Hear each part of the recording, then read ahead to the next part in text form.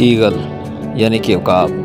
उकाब उड़ने वाले परिंदों में सबसे बड़ा परिंदा है और बेहतरीन शिकारी है। दुनिया भर में इसकी साठ से ज़्यादा इकसाम पाई जाती हैं, जो लाजमी नहीं कि एक दूसरे से बिल्कुल मुमासल हों। दुनिया के बहुत से ममालक इसको फ़ौजी निशान के तौर पर इस्तेमाल करते हैं। इसके चंद एक दिलचस्प हक़ आपको बयान करते हैं। नंबर एक, दुनिया भर में साठ इकसाम पाई जाती हैं, जिनमें से ज़्यादातर एशिया, अफ्रीका, जबकि बाज़ अमरीका और ऑस्ट्रेलिया में पाई जाती हैं।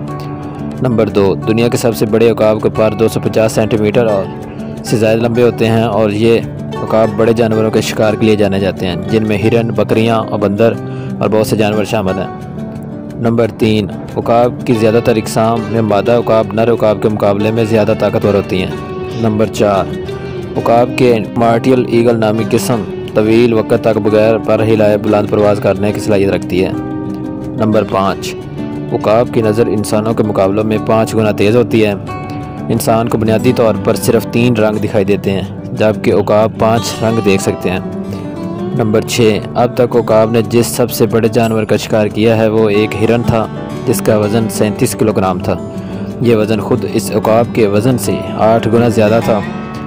नंबर सात, फ़िलिपाइन के उकाब दुनिया भर में सबसे वज़नी और उकाबों में से एक हैं। इनकी लंबाई 102 सेंटीमीटर, जबकि वज़न 8 किलोग्राम होता है। नंबर आठ दरख्त पर सबसे बड़ा घोंसला बनाने का आज़ाद उकाबों की एक किस्म को हासिल है, जिसे बार्ड ईगल के नाम से जाना जाता है। ये घोंसला 20 फुट गहरा, नौ शरिया छः फुट चौड़ा और तकरीबन दो टन वजनी होता है। ये घोंसला अमेरिका में सेंट पीटरबर्ग, फ्लोरिडा में उन्नीस में देखा गया था। नंबर नौ उकाब एक जहीन तरीन परिंदा भी है। मिसाल के तौर पर यूनान में गोल्डन उकाब कछुओं का शिकार करते हैं। और वो इनका खोल तोड़ने के लिए कछुओं को बुलंद तरीन चट्टानों से नीचे गिराते हैं। नंबर दस, बॉल्ड ईगल बुनियादी तौर पर गंजे नहीं होते, बल्कि इन्हें यह नाम एक कदीम लफज, पाइबॉल्ड से हासिल हुआ है, जिसके मानी सफ़ेद सर के हैं।